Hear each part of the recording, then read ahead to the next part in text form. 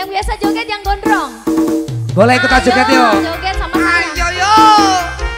Gokil dong. Sandra Pesona. Ada yang Ayo sini Anita yuk. Udah. Goyang goyang. Eh jangan sambil duduk nanti udun. Kita uh, gerakan yuk.